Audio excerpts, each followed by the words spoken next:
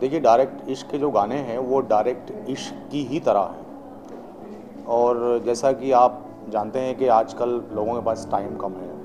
बहुत सारी चीज़ें करनी हैं और छोटी सी ज़िंदगी हमेशा होती थी, लेकिन अभी करने के लिए बहुत ज़्यादा है। दुनिया जो है, वो बहुत छोटी हो गई है। इन द सेंस हमारी अप्रोच जो है, वो बढ़ गई हैं। तो हर चीज़ें डायरेक्ट होने लगी हैं।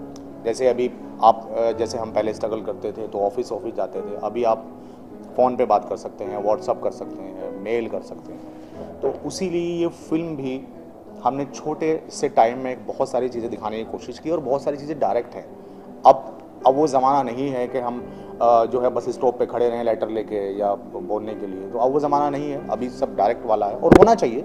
किसी भी चीज़ के लिए बहुत ज़्यादा मेरा मानना ये है कि हम किसी चीज़ को करने में जितना मतलब जो है वहाँ तक पहुँचने में या करने में या सोचने में जितना टाइम लगाते हैं तो उससे ज़्यादा टाइम मतलब उसमें ना लगा के हम जो करते हैं उसको ज़्यादा टाइम दें। तो मेरे ख्याल से वो अच्छा होगा। तो इसीलिए ये फ़िल्म जो है वो डायरेक्ट इश्क है और हम आ, मतलब इसका थीम वही है कि इश्क मतलब जो इश्क तक पहुँचने में हम टाइम ना लगाएँ। इश्क करने के बाद हम इश्क करें। मोहब्बत ज़्यादा करें, उसमें ज़्यादा टाइम लगाएँ। वो है। जी। जी जी जी जी जी।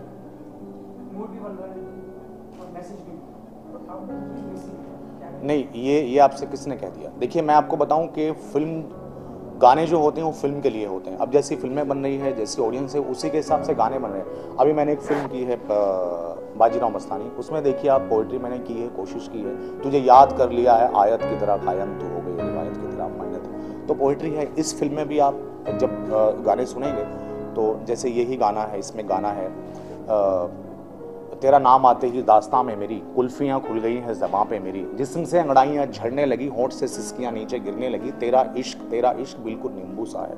तो मैंने कोशिश की है कि पोइट्री हो बट आज की हो, क्योंकि जो आज की लैंग्वेज है, जो हमारी फ़िल्म है, उसके हिसाब से गाने होते हैं। गाने, गानों के हिसाब से फ़िल्म नहीं होती। तो ऐसा नहीं पोइट्री है बट ठीक है, कुछ गाने होते भी हैं तो चेंज हुई अब सारी चीज़ें होती है चमन में। वो एक त, एक शेर है कि चमन में इख्तलात रंगो बू से बात बनती है। तुम ही तुम हो तो क्या तुम हो? हम ही हम हैं तो क्या हम हैं? तो सारी चीज़ें होनी चाहिए। अगर ख़राब पोइट्री नहीं होगी तो आप अच्छी पोइट्री समझेंगे कैसे? तो ये है। तो ऐसा नहीं है। बहुत लोग अच्छा काम कर भी रहे हैं। हमने भी कोशिश की अच्छा करने की। बहुत लोग कर रहे हैं। पोइट्री हो भी रही है। पोइट्री लोग सुन भी रहे हैं। तो ऐसा नहीं है। पोइट्री कहीं नहीं जाएगी। आप बेफिक्र रहिए। ये मैं आपसे बड़े कॉन्फिडेंस के साथ बोल रहा हूँ कि पोइट्री रहेगी।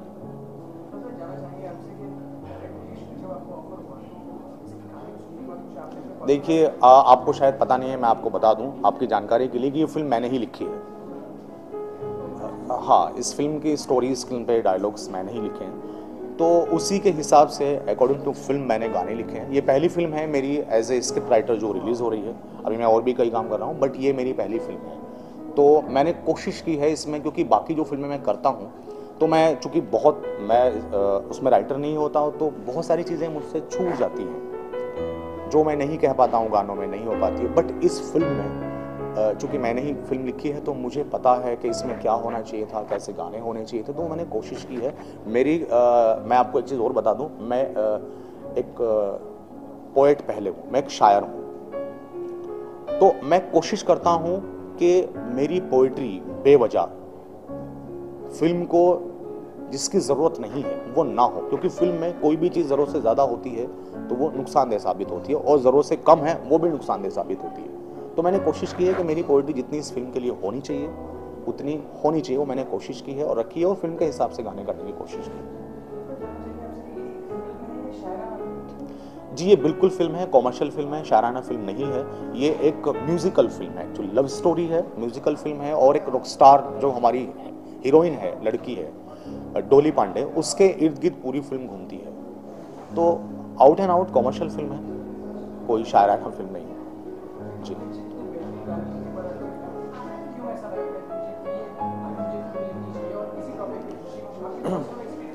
देखिए, मैं चूँकि मैं एक राइटर हूँ तो मैं, मेरा फुल जॉब यही है। मतलब फुल टाइम जॉब है मेरा तो मैं सोता भी राइटिंग में हूँ, उठता भी राइटिंग में हूँ, बैठता भी राइटिंग में हूँ। तो मेरे पास, जब मैं अब से पहले मैं गाने कर रहा था, मेरी तकरीबन बाजीराव और वज़ीर मिला के सत्ताईस फ़िल्में रिलीज़ हो चुकी हैं। तो मेरे पास गाने का ही मैं काम करता था और मैं बाकी टाइम जो बचता था, मैं उसमें पोइट्री करता हूँ, मैं जाता रहता हूँ मुशायरे पढ़ने आउट ऑफ़ इंडिया यहाँ वहाँ। तो मेरे पास टाइम था, क्योंकि फ़िल्म के जो गाने होते हैं, वो दो, पाँच, दस दिन में ख़त्म हो जाते हैं। बहुत ज़्यादा नहीं होता तो उसके पास, उसके बाद मेरे पास टाइम था। तो मैंने वो टाइम मैं अब चाहता हूँ, क्योंकि अब मेरी उम्र वो नहीं रही कि मैं कहीं यहाँ खेलता फिरूँ वहाँ पे खेलता फिरूँ और वो डायरेक्ट इश्क करता फिरूँ तो वो है तो अब मैंने ये सोचा है कि मैं सिर्फ़ और सिर्फ़ राइटिंग करूँगा। तो मेरे पास काफ़ी टाइम था, मैंने स्क्रिप्ट को है वो, जो चूँकि मैं एक पोइट हूँ तो मुझे ख्याल तो आते हैं, मुझे ख्याल आते हैं। तो मैंने उन ख्यालों को एक अच्छी स्क्रिप्ट में ढालने की कोशिश की है, और चूँकि ये फ़िल्म हमने वहाँ यूपी के बैकग्राउंड पे रखी मैं यूपी से बिलोंग करता हूँ तो वहाँ के जो नोइंसेस हैं छोटे छोटे देखिए कोई भी कहानी दुनिया में बहुत ग्रेट नहीं होती है। तो और ख़ास तौर से हमारे बॉलीवुड में जितनी फ़िल्में बनती हैं उसमें बहुत एक्सपर, एक्सपेरिमेंट जो है वो हम नहीं कर सकते। कुछ चीज़ें हैं हमारी ऑडियंस वैसी नहीं है। अभी तक हो रही है लेकिन उसमें भी टाइम लगेगा। मेरा ऐसा मानना है हो सकता है हो भी गई हो लेकिन मेरा ऐसा एक्सपीरियंस है। तो आ, हमें जो है वो जहन में रखते हुए तो कोई भी कहानी बहुत ग्रेट नहीं होती, सब वही कहानी है हीरोइन होती है हीरो होता है विलन होता है, वही कहानियाँ होती है। आप कोई फ़िल्म उठा के देखिए इसमें इससे अलग तो कुछ होता नहीं है। तो जो मेन होते हैं, वो कहानी के नोएंसेज होते हैं। हम कह क्या रहे हैं? हम स्क्रीन पे प्ले क्या जो है, क्या कर रहे हैं?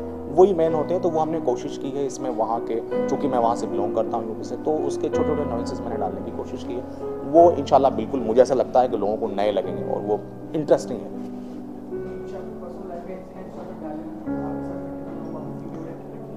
नहीं, मेरी पर्सनल लाइफ तो बड़ी डिफरेंट है। वो जो सबकी होती है, सबकी लाइफ में कुछ ना कुछ, कहीं ना कुछ होता ही है। तो ऐसा नहीं है कि किसी की लाइफ में कुछ नहीं है। सबकी में होता है, मेरी में भी है, मैं भी इस दुनिया का आदमी हूँ। तो ऐसा कुछ नहीं है। मैंने आउट एंड आउट मैंने आपको बताया कि मैंने कॉमर्शियल सोचा है कि लोगों को मज़ा आए। फ़िल्म देख के जो लोग आते हैं, अपना टाइम देते हैं, पैसे देते हैं फ़िल्म को तो उसमें वो कुछ लेके जाएँ। इंटरटेनमेंट लेके जाएँ।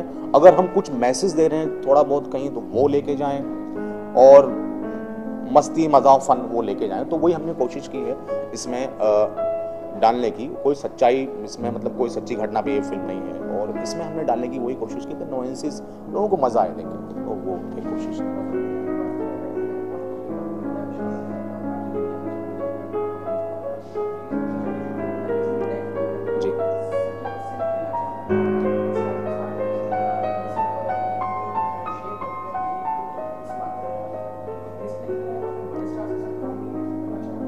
जी देखिए, मेरा ये मानना है कि हमारे यहाँ की जो ऑडियंस है वो बहुत समझदार है। स्टार्स नो डाउट आपकी फ़िल्म को इनिशियल लगा देते हैं। लेकिन उसके बाद फ़िल्म जो चलती है वो कहानी पे चलती है। वो फ़िल्म पे चलती है कि आपने फ़िल्म क्या बनाई है। आपने देखा भी होगा, अभी रिसेंटली आपने बहुत सारे रिज़ल्ट देखे होंगे। या आप तो इंडस्ट्री में हैं तो देखते आ रहे होंगे।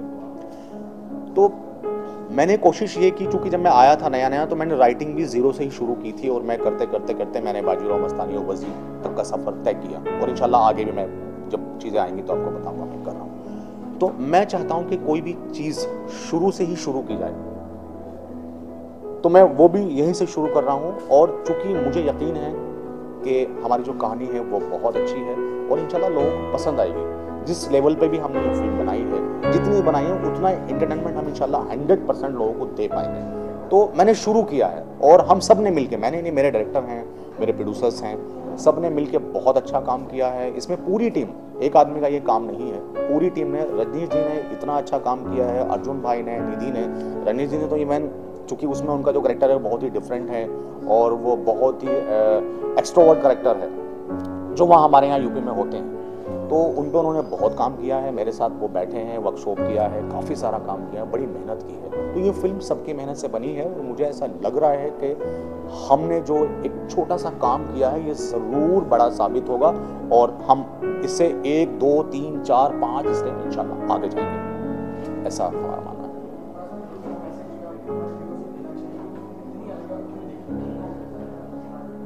देखिए, पहली बात तो ये फ़िल्म यूँ देखेगी मैंने लिखी है, ये मेरी पहली फ़िल्म है। मैं मैं ये चाहूँगा कि लोग इसलिए देखें। और दूसरी बात यह है कि हमने इसमें मैं फिर अगेन वही कहूँगा कि कोई स्क्रिप्ट कोई स्टोरी बहुत अलग नहीं होती।